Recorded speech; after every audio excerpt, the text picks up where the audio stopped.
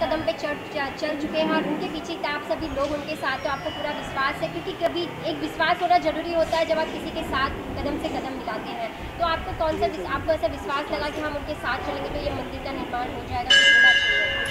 अ, हमें बेसिकली अमित जी ने कहा था कि इस मंदिर से जोड़ना है और जुड़ना है लेकिन हम जब तब तक हमने डिसीज़न नहीं लिया था। जब हम रवि भाई से मिले तभी उनसे बात हुई फेस टू फेस और उन्होंने बताया कि मंदिर निर्माण का कार्य कैसे चलेगा। 2000 दो तीन साल लगेंगे, लेकिन आगे चल के इनके जो प्लान्स हैं वो बेसिकली हमें बहुत पसंद आए कि मंदिर के साथ साथ वो लोग सोच रहे हैं कि आश्रम भी बनेगा स्कूल की भी स्कूल का भी निर्माण होगा और हॉल बनने की यहाँ पे जो कार्यक्रम स्टार्ट होगा एसी हॉल बनेगा, जिसमें जो जो फैमिलीज़ हैं, जो बड़े बड़े हॉल्स अफोर्ड नहीं कर सकते हैं, उनको मिनिमम बहुत बहुत मिनिमम रेट में यहाँ पे हॉल्स दिए जाएँगे, जो अपने बच्चों की शादी सोचते हैं कि हम बड़े बड़े हॉल में करेंगे एसी हॉल में करेंगे, नहीं कर पाते हैं तो यहाँ उनको वो सुविधा मिलेगी।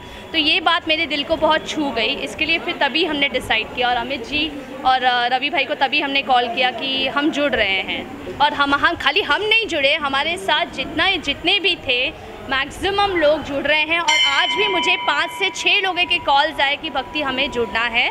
हम फॉर्म्स में हम लोग लेके आ रहे हैं फॉर्म सबमिट करना है। So her this is this is